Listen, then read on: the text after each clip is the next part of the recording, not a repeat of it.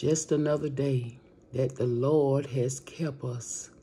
He has kept us from all evil, and my mind is stayed on him. Just another day that the Lord has kept us.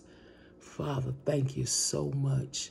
Oh God, we give you glory and honor and praise, and we thank you, Lord, for keeping us, Lord keeping us while we slept on last night. Oh God, we give you glory. Thank you, Lord, for your mercy and your kindness, Lord, that you have shown toward us.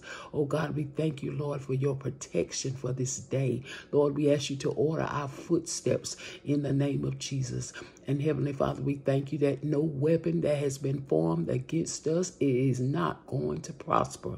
And every tongue that rises up against us in judgment is going, is going to be condemned in the name of Jesus. We cancel and we take authority in the name of Jesus over every plot and plan of the devil in the name of Jesus. We cancel accidents. We cancel sickness and disease. We cancel the spirit of poverty and lack. And Father, we thank you for your protection. God, we thank you that we have more than enough in the name of Jesus. Oh God, we thank you, Lord, that the peace of God be upon us this day. Oh God, as we are driving to our different jobs, Father, God, our different destinations, oh God, as we are dropping off our children on this morning. God, we ask you, Lord, to cover our babies, Lord. We cancel every assignment, God, against our children, God, against our babies, Lord, that are being left home by themselves, oh God. We cancel the assignment of fires, Lord God, all kinds of destructions and